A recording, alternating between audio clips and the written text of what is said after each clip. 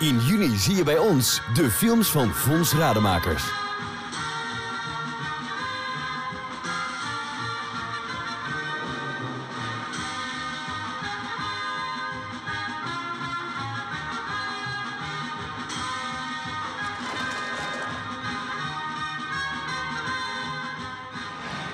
Woensdag om 9 uur bij ons.